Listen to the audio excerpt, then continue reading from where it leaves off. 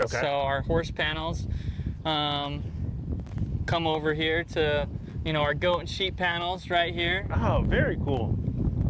Tell me a little bit about this. I'm sorry, we'll go back Yep, to the horse panels. for sure. So either you said this is goat and sheep, Yep.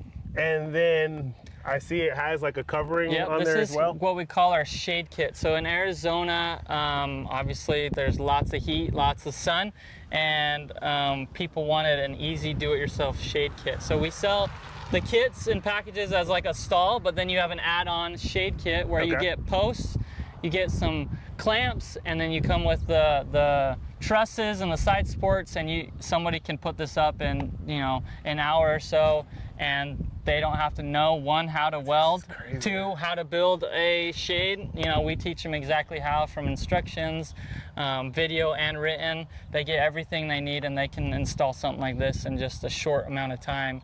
And again, they don't have to call an installer to do it. They can do it themselves.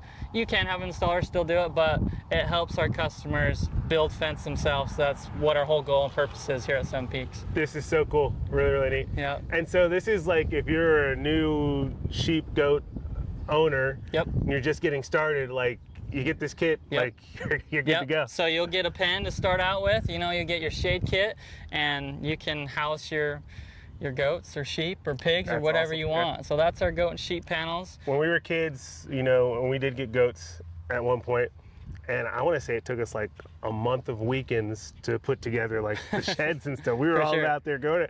This is like a couple hours, Yep. if that. Yep, exactly. and that's what our customers love is they'll they'll leave us a review or text us or call us and be like, hey, literally I set your package up in just a few hours and we were mind blown that it was that quick and easy.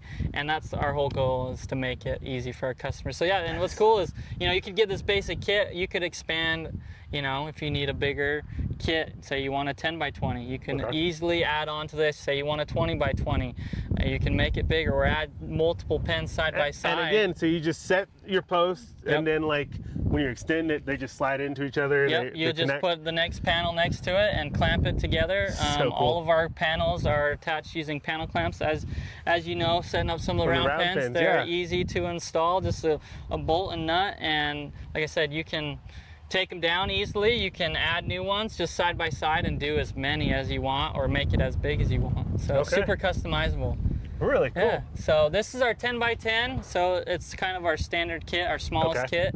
And obviously with goat and sheep, you don't need a whole lot, you know. Sure. And then we move up to over here. I'll show you. We got a 10 by 20. All It's a little bit bigger, and then all our other horse panels and things that we've got. So, Okay. Awesome.